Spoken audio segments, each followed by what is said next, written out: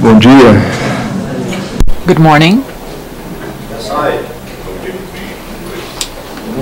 Good morning. I'll request your patience so you can listen to me for a few minutes because I'll make a quick presentation that I prepared previously. It's an, impro- uh, an improvisation, and after that, we would start a session of Q&A because I don't know how long that will last. I have other meetings after this, but I'll try to answer as many questions as I can, okay?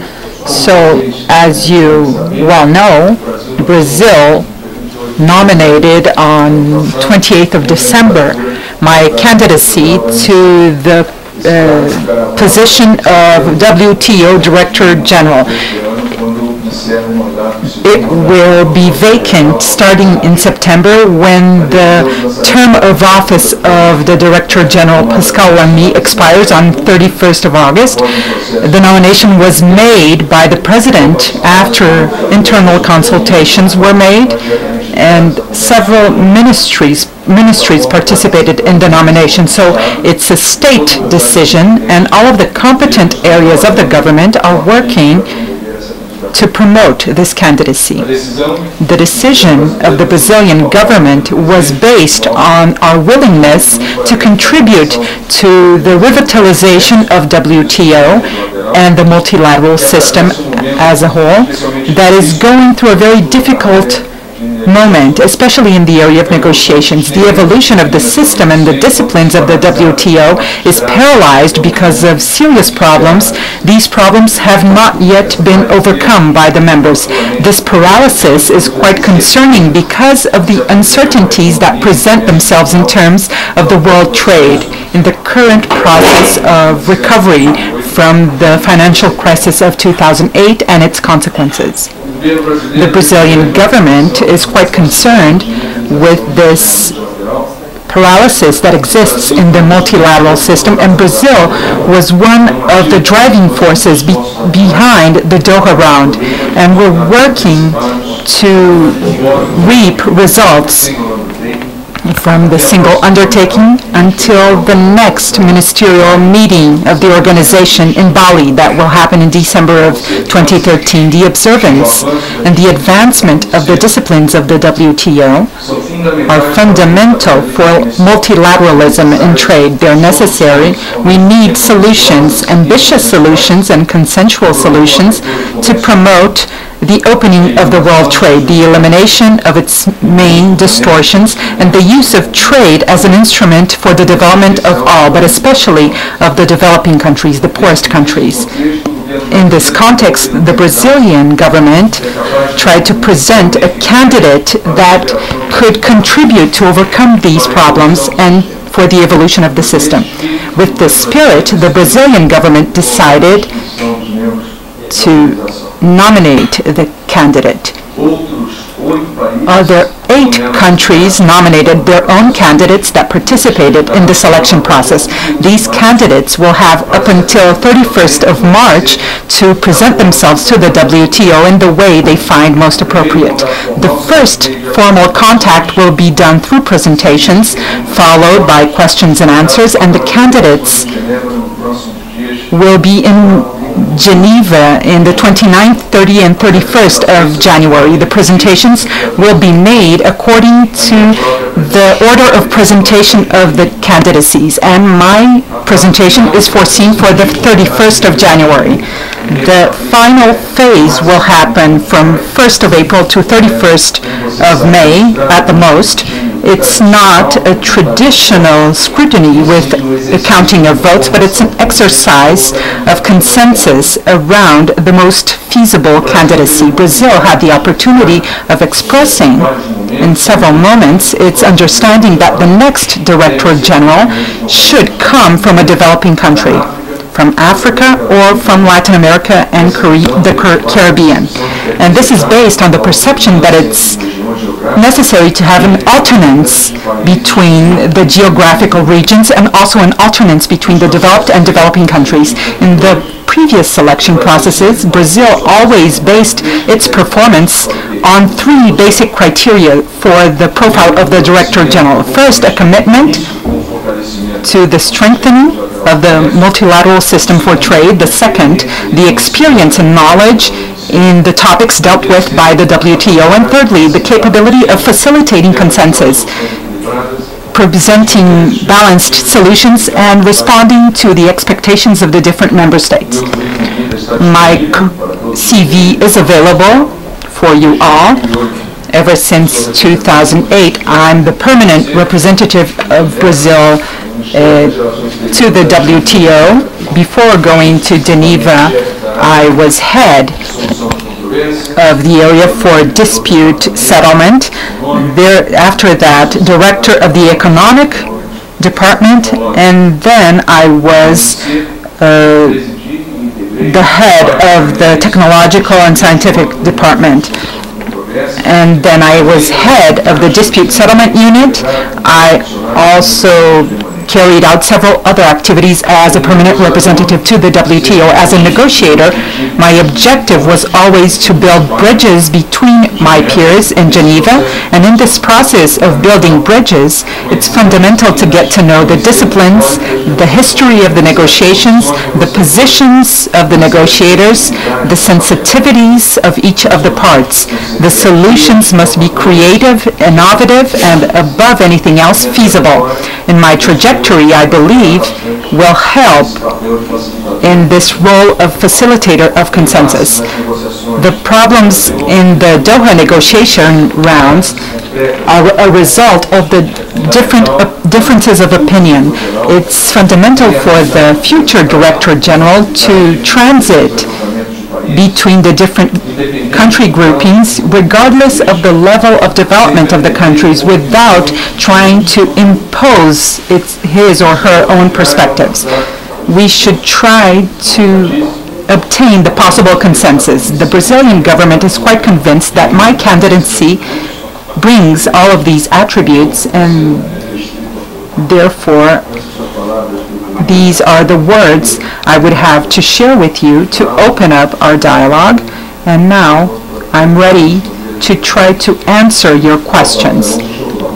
Mm, good afternoon. I'm from Reuters Ambassador. I have four questions. Four, okay. First, I'd like to know if Brazil has received public support from other countries from the WTO, and if you, during your campaign, and if you are elected as Director General, will you advocate the idea of including the uh, currency and the exchange rate as one of the main matters to be dealt with in the WTO regarding public support. The campaign is just beginning. We launched the candidacy a few days ago. There's an entire process of consultation that has to be made to other countries. But what I can tell you now is that without making a survey of who said yes, who demonstrated support, I can say that in general, we're very satisfied with the receptiveness of the Brazilian candidacy, both from the developing and developed countries and in all geographical regions in our own continent and also in all other continents. And this makes us very proud. We see this as something quite positive and at least one country, Argentina, formalized its support publicly on the day that we launched the candidacy. It was a very sympathetic gesture. We have received several other manifestations of support, but for reasons that are obvious, we should not talk about the reactions of each of the members to this candidacy. Regarding the issue of the exchange rate, if I'm elected, the Director General never will have the competence or the capability of imposing any topic for the WTO. The exchange rate is discussed by the WTO, not because the Director General wanted it to be so, but because the members willed it so. We made a proposal, the proposal was accepted. This is a proposal to discuss the topic, start a debate about this topic. This proposal was accepted by all, all of the members. In the moment in which all of the members accept the dialogue, and it's a dialogue that is a continuous dialogue. We have meetings that have been happening, and we have another meeting that is scheduled for April. I think we will have a, a meeting in April about this. We will invite a representative from the IMF to participate. What will happen after April, this is a decision that is up to the members. The members will decide if they will continue this dialogue. But if we have a consensus from the members to continue a dialogue about the exchange rate, then we will continue a dialogue about this matter. But when the members reach a consensus that it's no longer the case to continue with this dialogue, then the dialogue will be interrupted. But this is not something that is up to the Director General alone. This is a decision made by the members, and this is something quite typical at the WTO. You are all aware of this. The WTO is an organization that is led by its members the Director General can only facilitate the dialogue among the members, but the decision about any matter, about how it will be carried forth, this is a decision that must be made by the members themselves. I think we have to remember that there's a distinction among different things. Several of the things that I did, I was representing the Brazilian government in that position. These are not things that, as a Director General, I will be compelled to continue doing. I will be the Director General of the members. In this specific case regarding the exchange rate, I participated in a process in which we launched this dialogue. This was a long process. We had several consultations with other members. I visited several ambassadors. We talked about how this conversation could be useful because a conversation about the exchange rate can have different manners. We can speak about different things we could have constructive debates or not, and we reached an understanding that we should have a construct, constructive approach to the exchange rate at the WTO. At least we have laid down the basis. At least this is what was done when the dialogue was launched. But my successor, the ambassador of Brazil, that will be nominated after me, and the other permanent representatives, they will be the ones who will decide how this dialogue will be continued. And if I am elected, my job will be to facilitate this dialogue. This is all I could do as Director General. No other questions? Rosana from the newspaper Correio Braziliense, Ambassador. From now on, I would like you to elaborate on what will be your agenda because in the IMF there's a visitation by the part of the countries. How will this work? How will you or your campaign work and how Brazil Brazil is uh, mentioned as a country that is becoming more protectionist. How will you align your discourse of free flow of trade with this other position of protectionism? How will you align these two matters? Regarding the campaign itself, as I said before, the candidates have until the end of March to present themselves to the members. Each candidate will do this in his or her own way. I intend to visit several countries to present myself, to introduce myself, to introduce my contributions to the multilateral system of trade, to remove any doubts. They will probably make questions they will try to uh, understand what my standpoint is.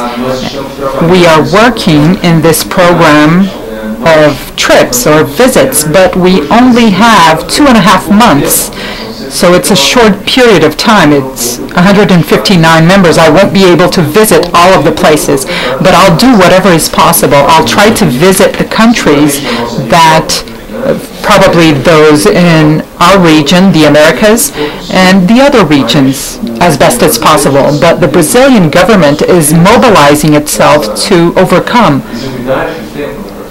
this problem of the time frame so that we can clarify our objectives, our purpose, and what are the goals of the Brazilian candidacy. I, moving on to your second question about protectionism of Brazil, this alleged protectionism. This is something that some analysts claim, but Brazil, at least on my perspective, I see Brazil as an asset, not a liability. Brazil is a founding member of the WTO. It's a country that is seen within the WTO as a country that articulates solutions, that is proactive, that fought in an extraordinary way to advance the negotiations in Doha. All of the members of the WTO are aware of our background and now that we are making efforts to obtain results in the Interministerial Conference of Bali, Brazil is one of the central countries in this effort. It's building consensus. It coordinates the G20, making proposals in the agricultural area that are quite constructive. They're not maximalized maximalist proposals. And this role of Brazil, this capability of Brazil of articulating and strengthening the multilateral system, this is something that everybody is aware of.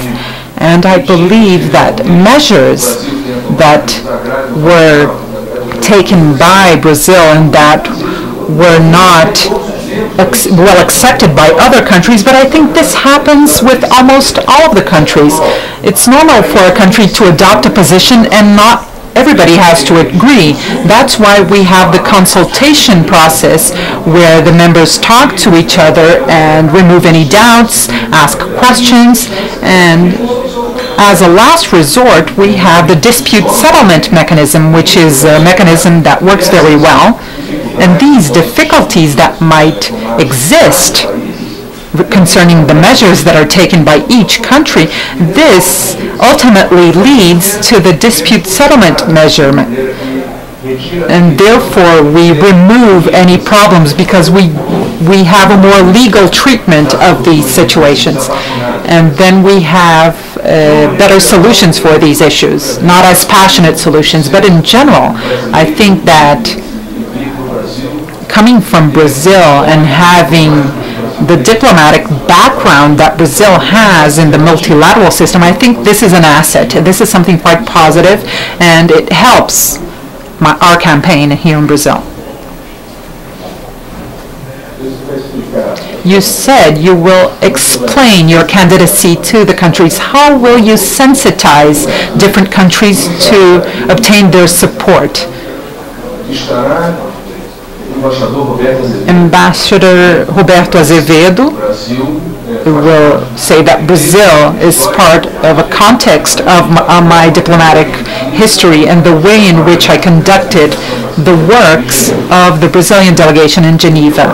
What I think that the WTO needs now, in the moment we are at now, this is the largest concern of the Brazilian government. We live through a moment in which the multilateral system for trade is virtually paralyzed, especially in the negotiations front the WTO still works, the dispute settlement area still works very well. Could it be improved? Yes, it could, but this is a decision that is up to the members. But it works adequately in the area of negotiations, which is the most important area for the evolution of the disciplines, for the improvement of the commitments that are taken on by the countries in the WTO. This is an area that is paralyzed, and this is quite concerning the evolution of the disciplines and the commitments in the WTO, maybe this is the best guarantee that the members might have against actions that are harmful for international trade and the growth of international commerce. I believe that Brazil and I myself have a background in the WTO of articulating consensus, of listening to all of the members, of having access to all of the members. We have legitimacy, we have the trust of the members. And regardless of the person, uh, of the hierarchy, not everybody can do this. Not everybody can present solutions, solutions that are actually heard. Depending from the, whom the proposal comes from, sometimes it's rejected by the member states because of the person who presented it.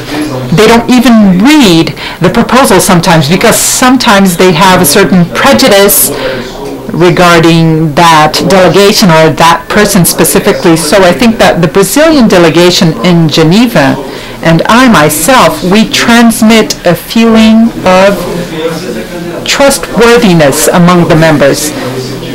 It's not by chance that we that my candidacy is very well received by different countries, developing countries and developed countries in Latin America and Asia and Africa.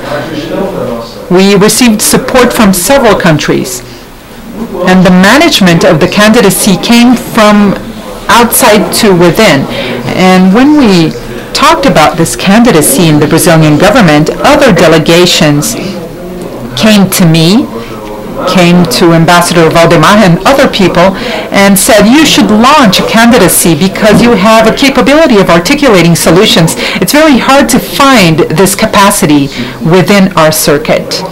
And this is something quite positive. It would be a good contribution for the system. At first, we heard these inputs and said, okay, but I didn't take these very seriously in the beginning. But the pressure grew and several delegations came to us, several people who are important in the process came to us, tried to encourage us to launch the candidacy. They said that would, it would be important to have a contribution for Brazil, from Brazil, and we thought that it would be the case to launch the candidacy.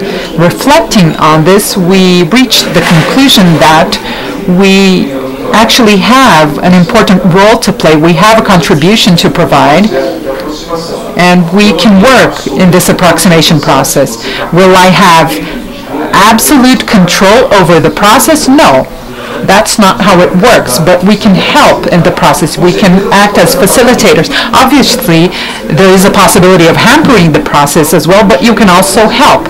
So if I can contribute and help to overcome these gaps, reduce the distances, I think it would be worthwhile.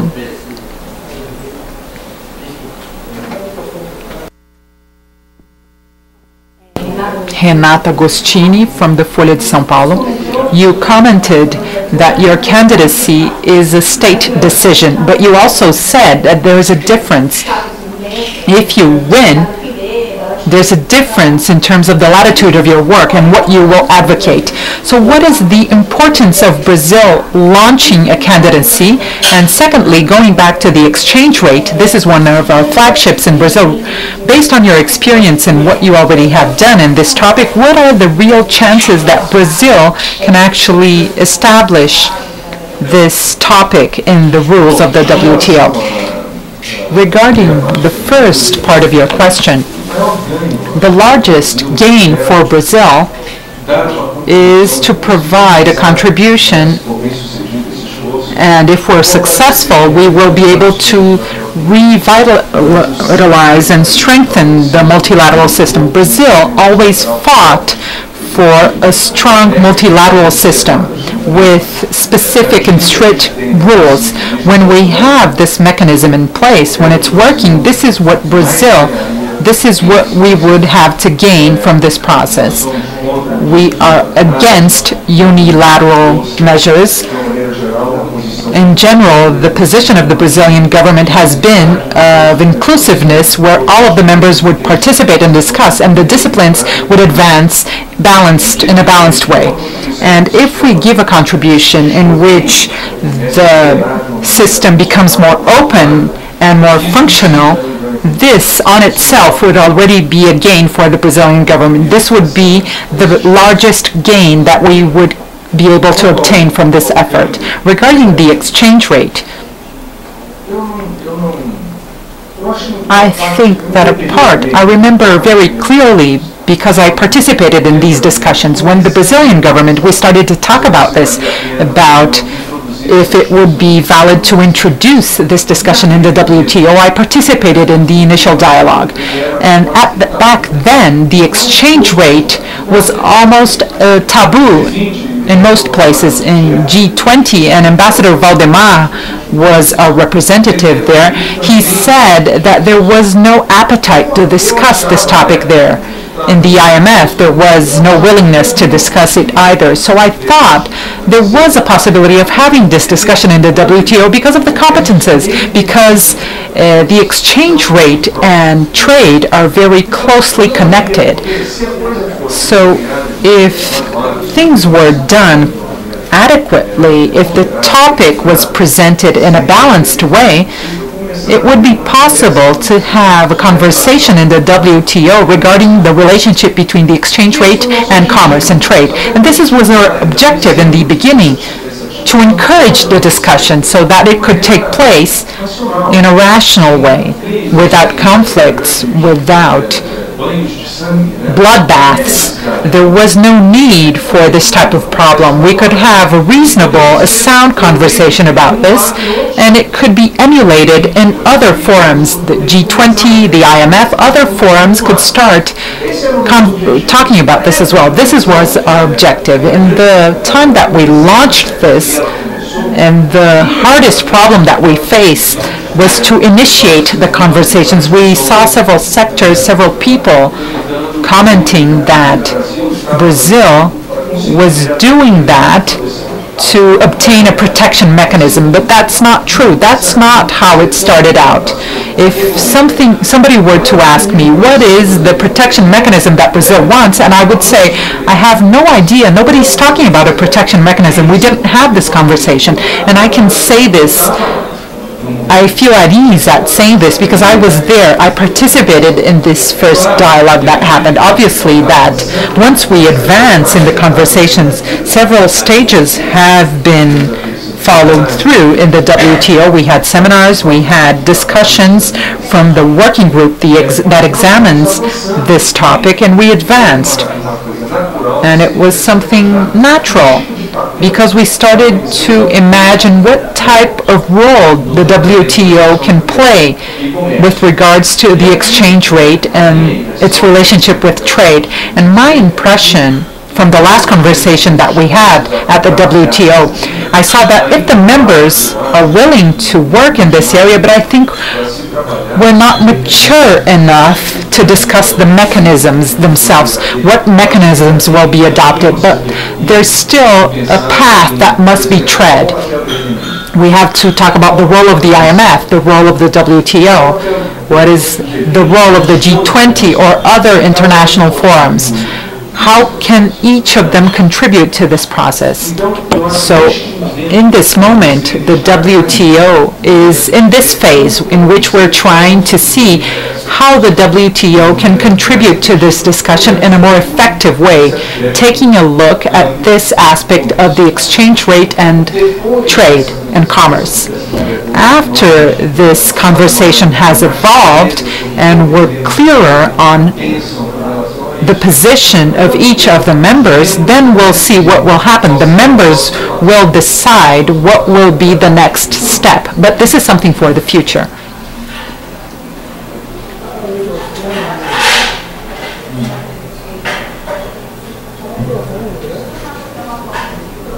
Translation apologizes, they're not using the microphone.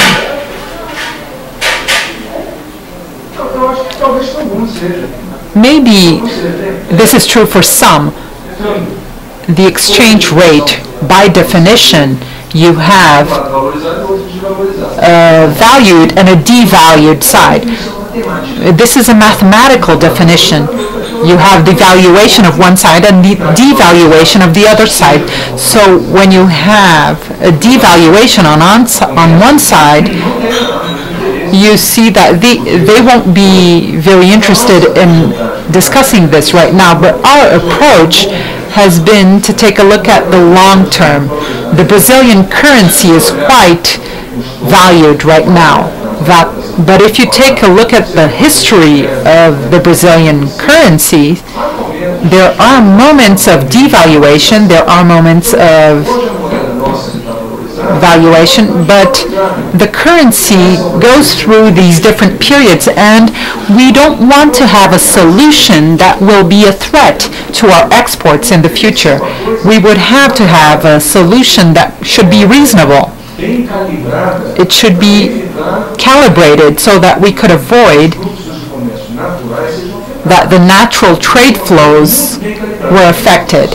This has to be very well calibrated. It's a sensitive discussion, and we have not yet begun this discussion. These countries that say that the IMF, this is a topic for the IMF, and because this is very simplified, usually in the press, but we have a more complex conversation about this. When we talk about the impact of the exchange rate and commerce, the first issue that is brought up is how can you determine if your currency is undervalued or overvalued? How do you determine this? There are several ways of doing this. So you take a look at a historical figure and you say, uh, historically it's high or it's low, and we had an abrupt change in some cases, so should we have some type of protection mechanism? This is a way of doing it, but several members say no. This is a very it's, a, it's an inappropriate way of approaching the topic. We have to have a more sophisticated way of doing this. And this issue of the standards for valuation or devaluation, this is not up to the WTO. This is a topic that is under the mandate of the IMF. Brazil is quite clear on this. What we're saying is that once you've determined, okay, the currency is overvalued or undervalued. Regarding trade, what will you do? Will we maintain it? Does the WTO have the necessary mechanisms? And this second stage of the process should not be done by the IMF. IMF will not dwell on the topic of commerce. It will only make an assessment of the optimal standards for the currency, but the impact on trade and how to deal with the consequences of this on commerce, this is not up to the IMF. I don't think that any delegation in Geneva thinks this. This is up to the WTO. But how we will do this at the WTO, this is another story. I would like to, you talked about the paralysis of the negotiations. We can say that the priority, your priority would be to boost the negotiations and conclude the Doha round. And in a moment of crisis in which we are going through, what would this multilateral agreement look like, this less ambitious uh, agreement look like? Do you have a deadline for this? I think that today in Geneva, anybody who participates in the meetings will see that there's a willingness by the part of the members of continuing the agenda that we developed in the area of negotiations.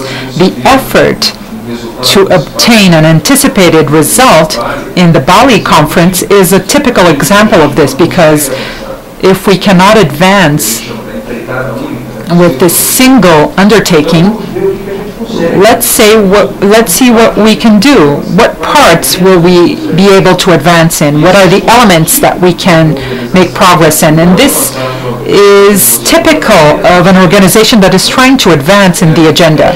But it's very hard to say, quite frankly, how much the new Director General can do to make the continuity of the negotiations feasible in their entire scope in the way that this was presented initially where we halted. The world is always evolving, so it's not up to the Director General to decide the way forward for the organization. The way forward will be decided by the members. What the Director General can do, in my opinion, is to, once we have established that the members want to advance in this negotiating agenda, the Director General has the obligation of making this feasible. And how can he or she do this? He or she will listen to the parts, will listen to all of the stakeholders and say, my perception is that the sensitivities are these, this is the desire of the group. Maybe we can't do everything everybody wants, but I see that there's space to do some things. And this is something that cannot be done, but maybe this other topic can be taken forward. And this is the negotiation exercise that is done. We must test alternatives. There are several things that the members mm, no, on the contrary. Nobody has this map. Nobody has a map. There are countries that don't don't don't even have a map for their own desires. They don't know what they can sell internally even. And this is a complicated map. And that's where we have to use the knowledge of a director general that must know not only the organization and the trade sector itself, it must, he or she must be aware of the history of the negotiations. Okay, let's say we agreed on a topic, and then we take a look at the wording. And since I'm there for several years, I'd say, no, okay, this was established over here because country A wanted this, country B wanted something else, and this was a commitment, a compromise that was made by both parties. And here we see that this other objective cannot be fulfilled, and somebody else who is not aware of the history of the negotiation and the sensitivities that exist between the countries, they won't know how to disarm the spirits and reach a consensus. So it's quite important for us to know what each country is willing to do, can do, and this is a very hard thing to do. We know, for instance, you're from France Presse. We know, for instance, that several of the sensitivities, intuitively speaking, this is something that exists in Europe in certain areas, for instance, in the agricultural area. But how many people know the extent of that sensitivity? What is the limit to those sensitivities. So you can, it's only a handful. The multilateral system has very few people who are aware of this type of situation. And this is a type of contribution that we can provide. We participated in several different processes. I participated in all of the ministerial conferences of the WTO except for Cancun. I was not in Cancun, but it was the only meeting in which I did not participate in. I was dedicating myself to another area here in Itamaraty, but knowing who is who, the purpose of each of the members, the objectives, and this is even a personal a specificity of the representatives. And it's very important to have this type of sensitivity. And this is valid for all areas of life, not only the WTO, but this map, this simplicity with which you placed your question. Let's advance with the discussions. Let's move on to the Doha round.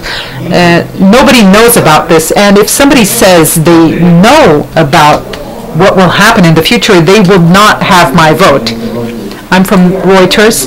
What actions could the WTO adopt in the case of um, a currency unbalance? How can we reduce the impact of these currency imbalances in international trade.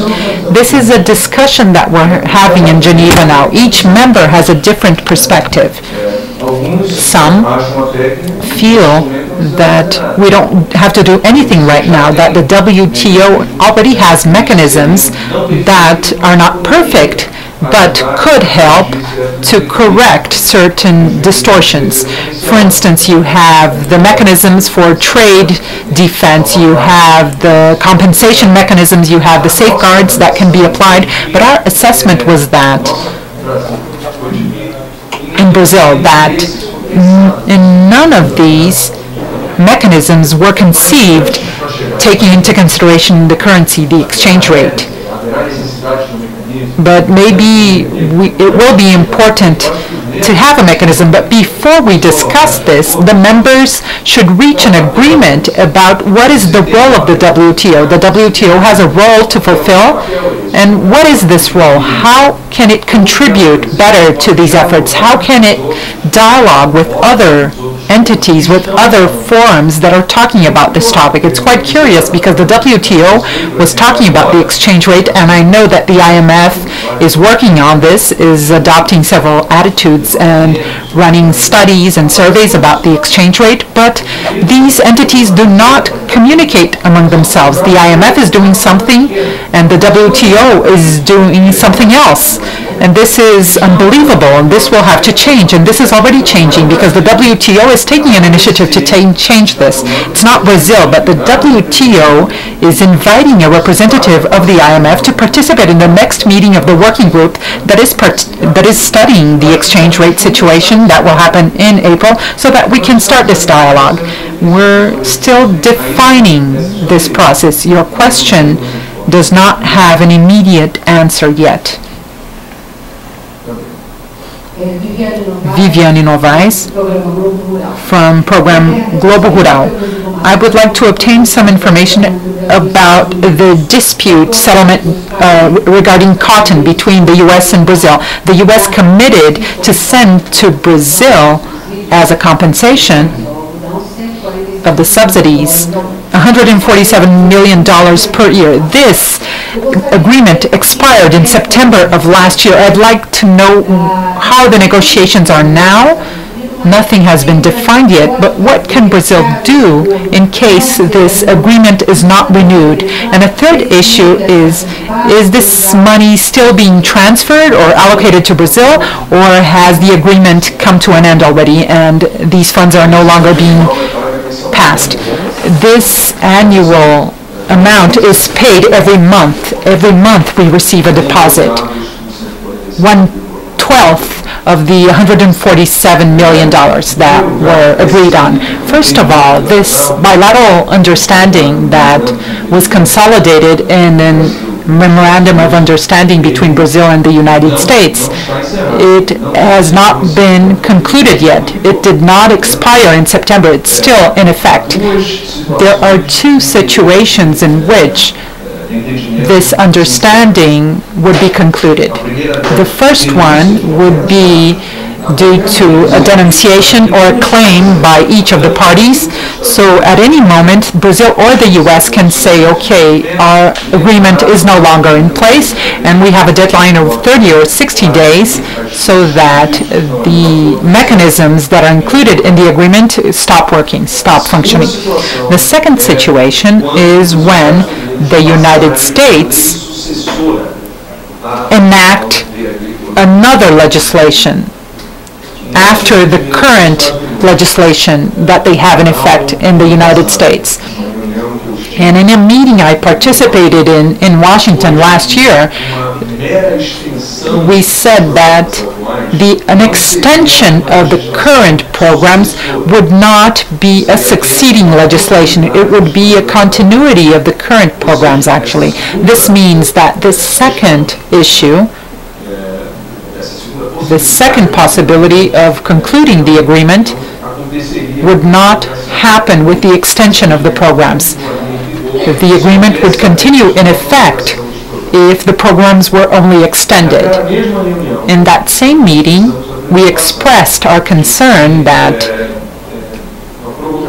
an extension, an undetermined an extension would be hard to accept unless we had an advancement in the negotiations that could show us that we were going in the direct, correct direction.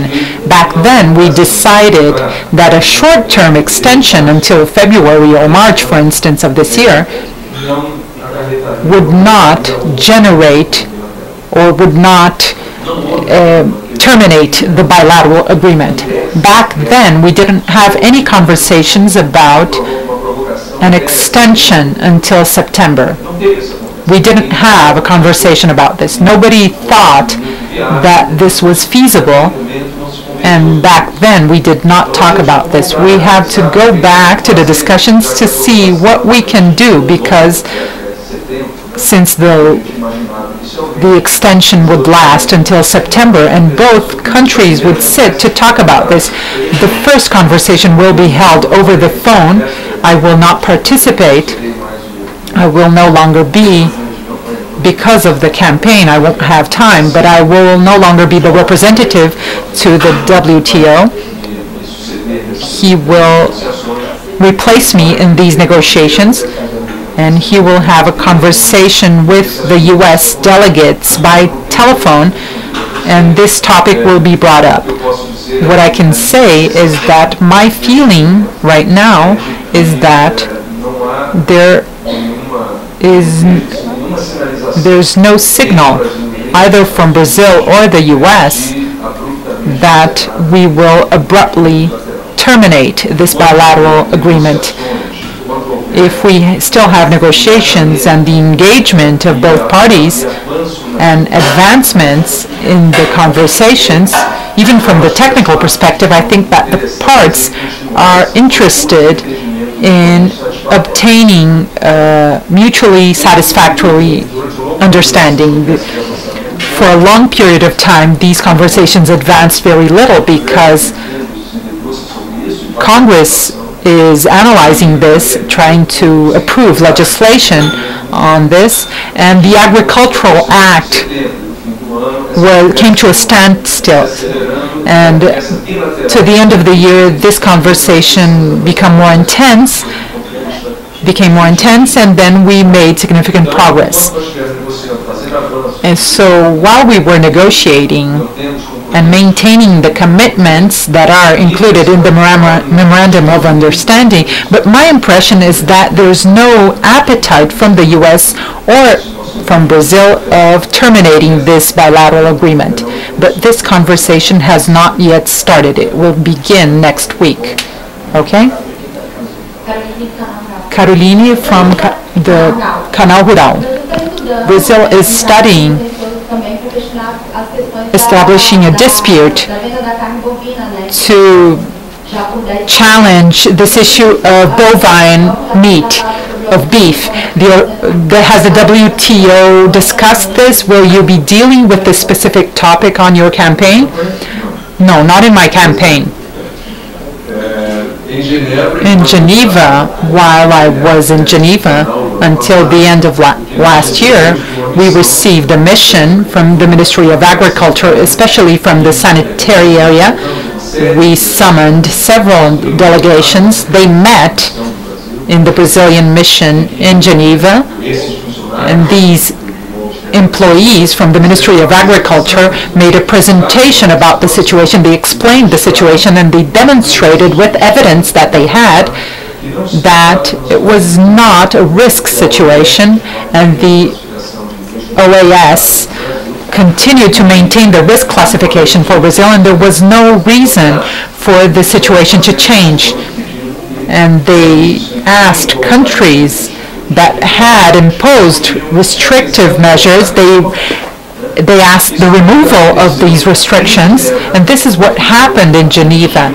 And I witnessed this dialogue. It was in the end of the year. I'm not quite sure what the date was, but they were there in the end of the year. And this was even in the press. In Geneva, this was the last step regarding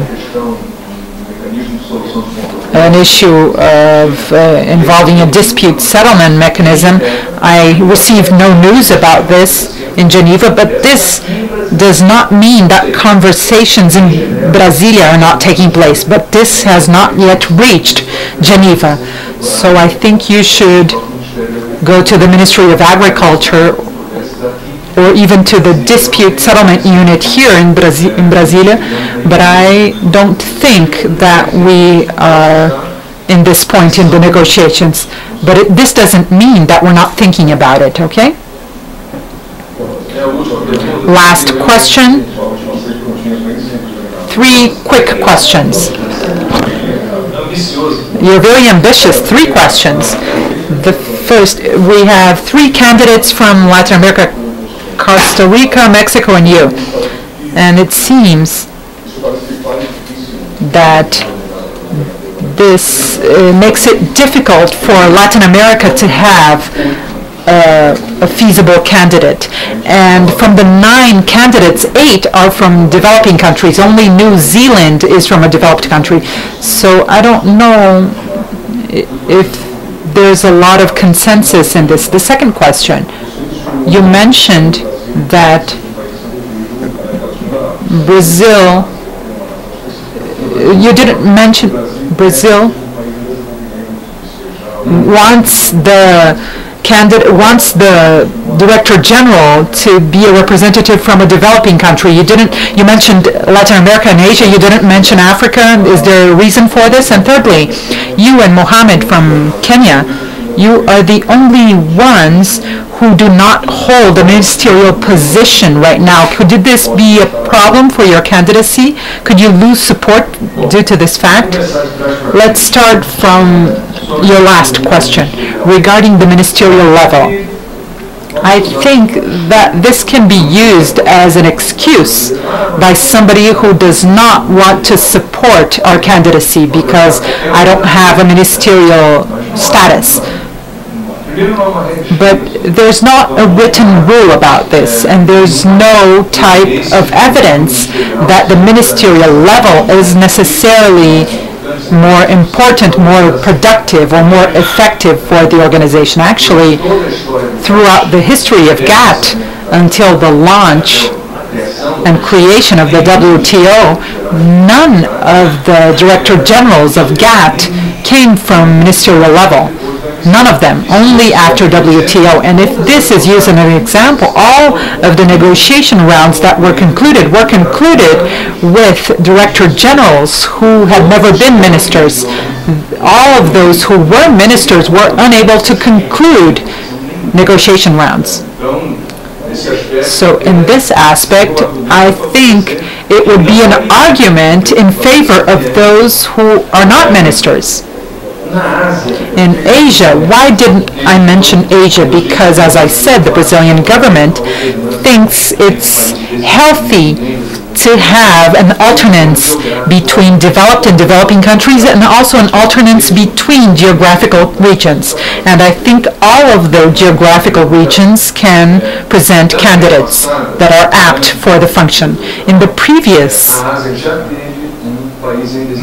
election, Asia already had a representative occupying uh, the Director General's post. And since Asia has already occupied the presidency, the Director General's position, and the regions that have not yet occupied this post are Africa and Latin America, but this doesn't mean that Asia cannot present an excellent candidate. This does not mean that.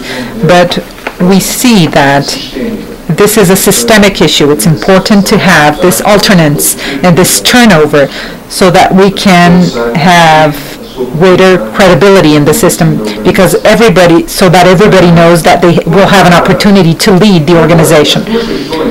Regarding both issues, regarding the eight developing countries, we see that these are multiple aspects. Asia presented two, Latin America presented three, and I think that this is natural. I don't see this as a problem. I don't think that we will have a cannibalism in the candidacies.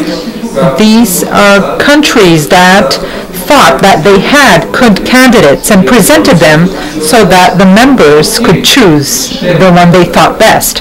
But what for those who are familiar with the electoral system, this is how it works. Once the campaigns are open, or are over in May and April, we will have the selection process. Three ambassadors, the president of the general council, the unit for dispute settlement, and also the ambassador from the other area. They will consult the members in different moments, and they will examine the candidates that have a greater consensus among them. And then after this first round, they will choose a certain number of candidates. They will eliminate a certain number of candidates because they have no consensus. These candidates will remove themselves from the selection process traditionally. After a second stage, another uh, another candidate will remove uh, him or herself from the process and so on and so forth. And then we will go through a second, third, fourth stage, and when we reach the end of the process, there will be one candidate per region or two candidates per region. I don't see this as a deficiency of the system or of the candidacies themselves because my perception specifically is that once you reach the end of the process, the origin of the candidate matters less and less.